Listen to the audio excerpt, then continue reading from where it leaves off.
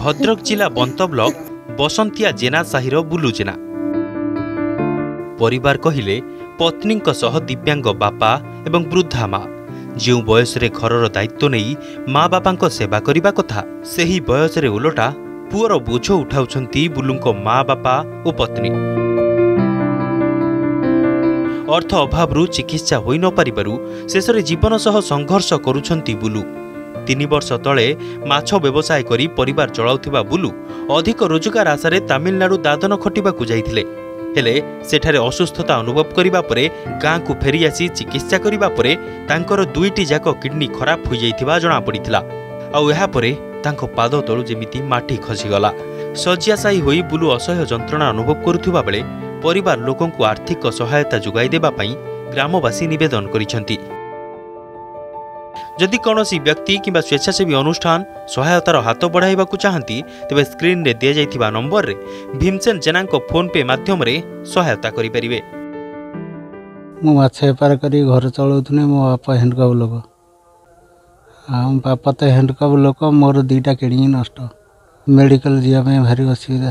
ମୋ କଥା ନେତା ମନ୍ତ୍ରୀ କେହି ପଚା ମାନେ ଆସୁନାହାନ୍ତି କି କେହି ପଇସା ଟଙ୍କାଟେ ଦେଉନାହାନ୍ତି।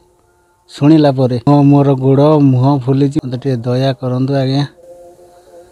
ଆପଣମାନେ ସମସ୍ତଙ୍କୁ ହାତ ଯୋଡ଼ିକି କହୁଛି ମୁଁ ବିଛଣାରେ ଗୋଟେ ଜାଗାରେ ପଡ଼ିକି ବହୁତ କଷ୍ଟ ପାଉଛି। ମୋ ସ୍ୱାମୀଙ୍କର ତ ଏଇ କିଡ଼ନୀ ଆମର ବହୁତ ଅସୁବିଧାରେ ଚଳୁଛୁ। ବହୁତ ଦୁଃଖର ବିଷୟ ଇଏ।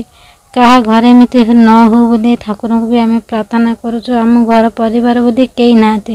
ମୋ ସ୍ୱାମୀ ବେପାର କରନ୍ତି ମାଛ ବେପାର କରନ୍ତି ତାପରେ ପରିବା ବେପାର ବି କରନ୍ତି। ସେ ପରିବା ବେପାର କରୁଥିଲେ ଆମେ ଚଳୁଥିଲୁ ଆସ୍ତେ ଆସ୍ତେ ତାଙ୍କ ଦେହ ଖରାପ ହେଇ ହେଇକି ଆଇଲା। ଆଉ ଶ୍ୱଶୁର ଯେ ସେ ହ୍ୟାଣ୍ଡିକ୍ୟାପ୍ ଲୋକ ସେ ବି ଚାଲି ପାରନ୍ତିନି। ଆଉ ଶାଶୁ ବି ବୁଢ଼ୀ ଲୋକ। ଏଇଭଳି ଆମେ ଚଳୁଛୁ। ଆପଣମାନଙ୍କୁ ମୁଁ ସମସ୍ତଙ୍କୁ ହାତ ଯୋଡ଼ୁଛି।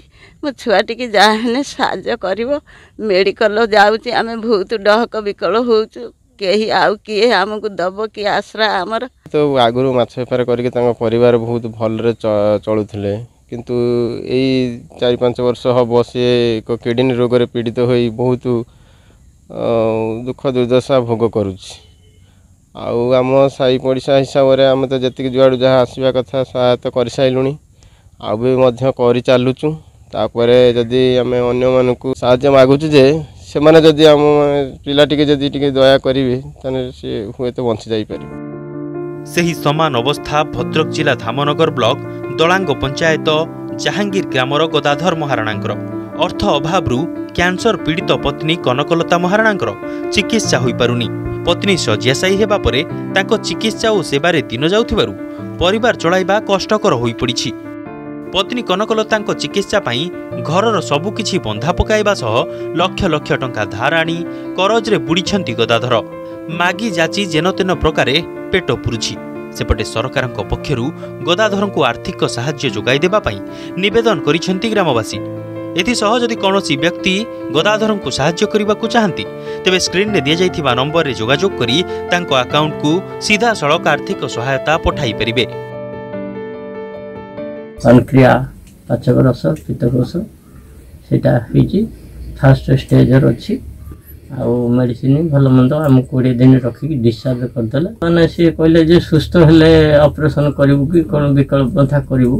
ସୁସ୍ଥ ତ ଆସିଲା ଦିନ ଠାରୁ ଡେଭଲପମେଣ୍ଟ କିଛି ନାହିଁ। ଯାହା ମେଡ଼ିସିନ ଲେଖି ଦେଇଥିଲେ ସେ ଯାହା ଜିନିଷପତ୍ର ଥିଲା ମୁଁ ବିକିଦେଲି। ବିକି ଦେଇକି ମୋର ଛୁଆ ଦୁଇଟା ଅନାଥ ହେଇଯିବ। ମା ତ ଏଭଳିଆ ପରିସ୍ଥିତିରେ ମୁଁ ଛଅ ମାସ କେମିତି ସୁସ୍ଥ ହେବ କିମ୍ବା କେମିତି ମୁଁ ମାଗଣ କରୁଛି ଯାହା ଯେମିତି ସରକାର ସାହାଯ୍ୟ। ଦୁଇ ବର୍ଷ ହେଲାଣି ମୋ ମା ଦେହ ଖରାପ। ବାପା କୁଆଡ଼େ କାମ ଯାଇପାରୁନାହାନ୍ତି ଘରେ ବସ ଘରେ ଅଛନ୍ତି। ଆଉ ଉଁ, ବୋଉ ବି ଶୋଇଛି ବୋଉ ଦେହ ଖରାପ। ଉଁ, ସରକାରଙ୍କୁ ଆମେ ନିବେଦନ କରୁଛୁ। ଆଁ, ମୋ ବୋଉ ଦେହ ଭଲ କରିଦିଅନ୍ତୁ ନହେଲେ ଆମେ ମା ଛେଉଣ୍ଡ ହେଇଯିବୁ ଆମେ ସହଯୋଗ ଚାହୁଁଛୁ କେମିତି ସେ ସୁସ୍ଥ ହେଇଯାଉ। ଦୁଇଟା ପୁଅ ତାଙ୍କର ଅନାଥ ହେଇଯିବେ। ଆଉ ତାଙ୍କ ଖୁସିରେ ଆମେ ଖୁସି। ଆଉ ଆମେ ସବୁବେଳେ ତାକୁ ସାହାଯ୍ୟ ଇଏ କରିପାରିବା। ଆମେ ବହୁତ ରୋଷେଇବାସ ଭଲ ମନ୍ଦ କରିକି ଦଇ ଦେଇ ନେଇ ଇଏ କରୁଛୁ ସାହାଯ୍ୟ କରୁଛୁ। ପଡ଼ିଶା ଲୋକ ବି ବହୁତ ସାହାଯ୍ୟ କରୁଛନ୍ତି। ପୁଣି ନିବେଦନ କରୁଛୁ ଆମେ ଦେଶବାସୀ ଓଡ଼ିଶାବାସୀଙ୍କୁ। ତାଙ୍କୁ ଟିକେ ସାହାଯ୍ୟ କରନ୍ତୁ ଭଦ୍ରକ ଭଣ୍ଡାରୀ ପୋଖରୀରୁ ସତ୍ୟଜିତ ନାୟକଙ୍କ ସହ ଧାମନଗରରୁ ବିଶ୍ୱଜିତ ପଲାଇଙ୍କ ରିପୋର୍ଟ ଅର୍ଗସ୍ ନ୍ୟୁଜ୍